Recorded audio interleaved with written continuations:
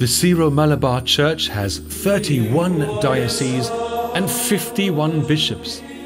There are five archdioceses in Kerala. Archbishop is the head of the archdiocese. Synod is the legal body comprising all archbishops and bishops. The ecclesial, spiritual, administrative, and theological programs and policies of the Church are discussed and formulated in the Synod.